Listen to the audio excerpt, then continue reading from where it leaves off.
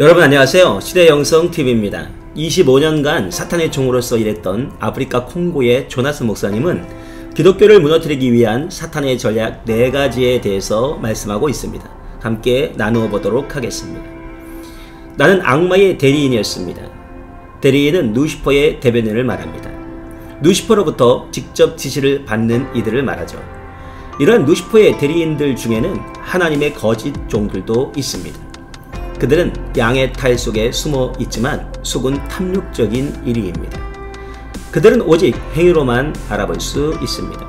하나님의 종으로 가장한 그 모든 사탄의 대행인들을 우리가 발견할 수 있도록 성령께서 도와주기를 원합니다.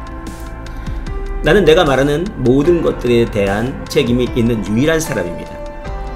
나는 두렵지 않습니다.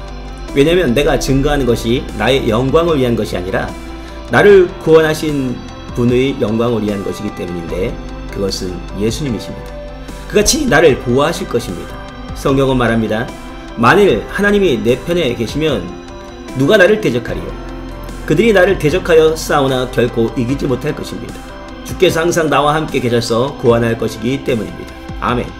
사탄의 종으로서 나는 심지어 교회에서도 일했습니다. 교회는 예수 그리스도의 군대에 보이는 부분입니다. 그러므로 우리는 교회를 무력화하기 위해 할 수 있는 모든 능력을 동원해야 했습니다. 사탄은 우리에게 교회에 대한 다음과 같은 임무를 주었습니다. 첫 번째 임무는 기독교인들이 하나님의 말씀에 대해 무지하도록 만드는 것입니다. 누시프는 이렇게 말했습니다. 일단 기독교인들이 말씀에 무지하면 그들의 믿음이 약해질 것이다. 노마서 10장 17절은 이렇게 말합니다. 그러므로 믿음은 들음에서 나며 들음은 그리스도의 말씀으로 말미암았느니라.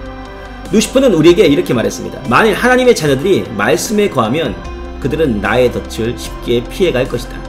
만일 여러분이 하나님 말씀 안에 거하지 않는다면 루시퍼의 덫을 피하기 어려울 것입니다. 10편 119편 105절에서는 이렇게 말씀합니다. 주의 말씀은 내 발의 등이요 내 길의 빛이니이다. 루시퍼의 제2계명은 기독교인들이 성경을 읽게 놔두지 마라. 그러나 그들이 신문, 소설, 종교 서적은 읽게 하라. 성경을 가지고 있지 않은 사람들이 있습니다.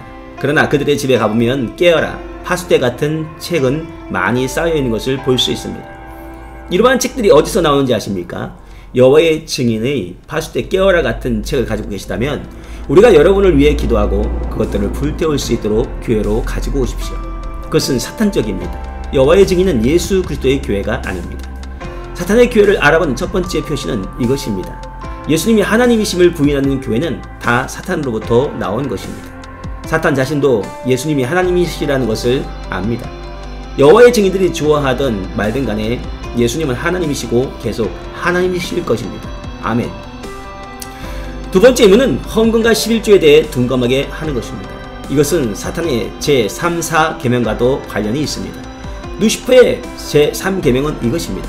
기독교인들에게 하나님, 그들의 아버지는 11조와 헌금을 필요로 하지 않으며 목사들이 그것들로부터 훔치는 거라고 말해라.